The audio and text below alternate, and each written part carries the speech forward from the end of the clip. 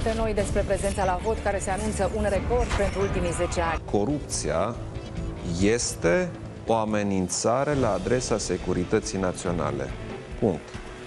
Și ca atare vreau să o tratez. Prea puțin.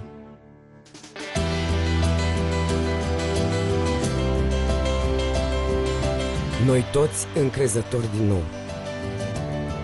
Pentru că nu e după ce-ți spun unii. E după cât îndrăznești tu. După câtă pasiune investești în ceea ce crezi. Și pentru că de azi știi ce ai de făcut, o să ne ai și pe noi alături. Ai un an nou nouț în față. Începe.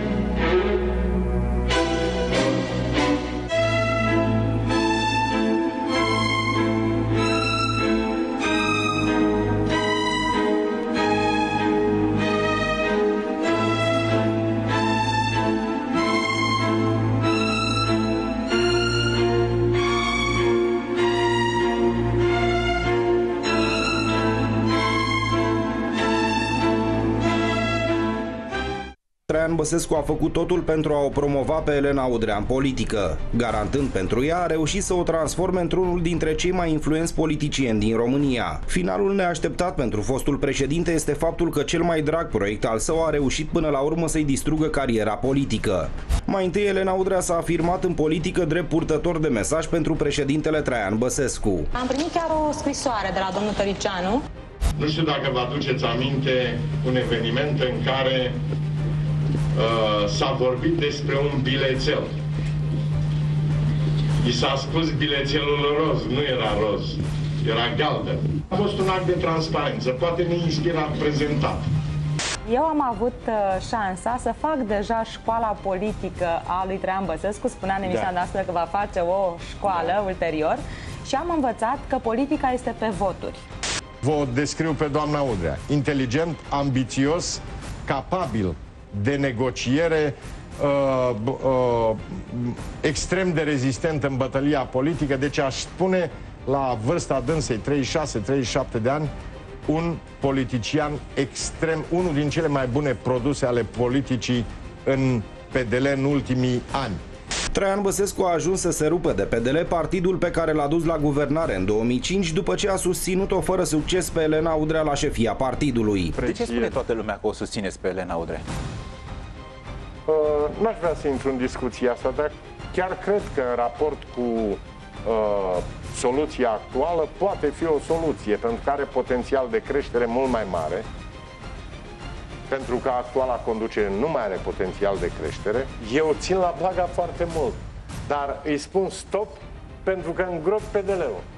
Adio PD, adio PDL. Noi azi ne-am despărțit definitiv. Luați-vă drumul vostru, iar eu l-am pe al meu. Elena Udrea n-a reușit ca președinte de partid, prin urmare a primit din partea lui Băsescu susținere pentru a fi președinte de țară. N-am cerut, uh, n-am cerut susținere și nu m-am dus să-i spun domnului președinte să semneze pentru mine, gândindu-mă că dacă într-adevăr crede în candidatura mea și uh, mă susține ca și candidat, va face dânsul gestul acesta și ca dovadă l-a făcut. Mă, Mi se pare un gest firesc din partea unui președinte? Mă onorează faptul că președintele României a semnat pentru mine și îmi susține candidatura. Susțin candidatul Partidului Mișcarea Populară în alegeri. Am convingerea, în orice caz, că Elena Udrea este bună pentru România. Să ne mai luați din pensie! Să ne luați din pensie! Nu, ia, nu, nu! Nu, doamna, nu, nu, nu, nu, Modul în care dumneavoastră încercați să învârtiți lucrurile astea mă fac pe mine să mă simt ca un tâmpit. Mă fac să mă simt de parcă cineva încearcă să mă prostească.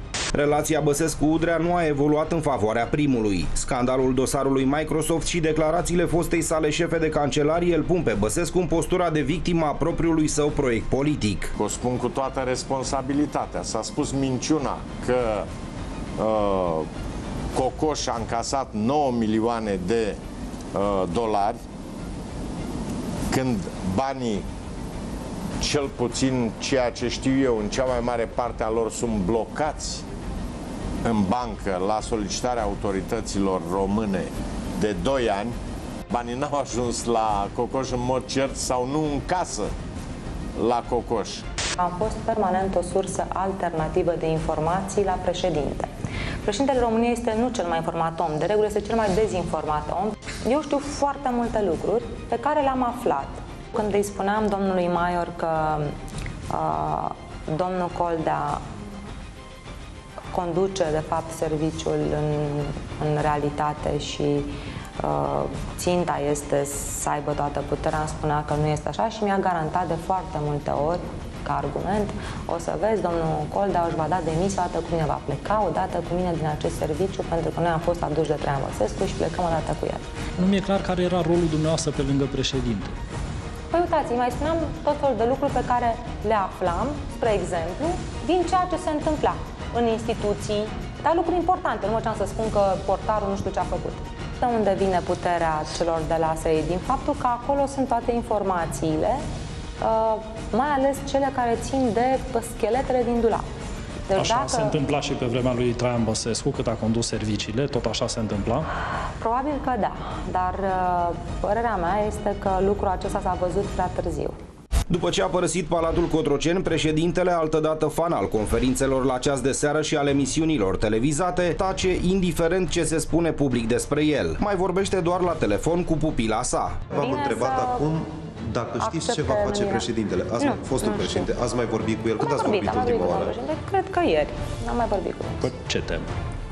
Pur și simplu, pe subiectul Microsoft. chemării mele la DNA. Nu, o chestie de complezență. Am văzut cum toți mari bărbați politici ai țării și nu numai politici s-au ascuns pe sub mese. Dacă vă uitați la Elena Udrea, sigur a fost un pareu câștigat, nu? Avem acum date noi despre prezența la vot care se anunță un record pentru ultimii 10 ani. Am votat pentru ca toți copiii noștri să poată să aibă un viitor în România. Am votat pentru România puternică. Două judecătoare de la instanța supremă sunt acuzate că au fost mituite. Procurorii investigează fraude de milioane de euro. Ancheta este extrem de delicată. Acuzați ca și martori în acest dosar. Special a Aici, la sediul DNA-ului a ieșit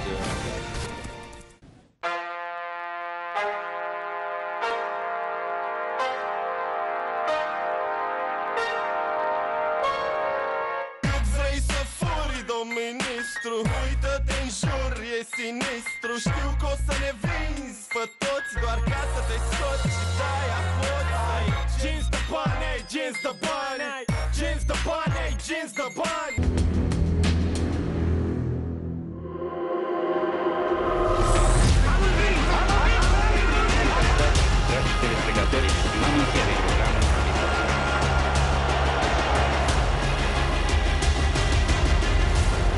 Prea puțin.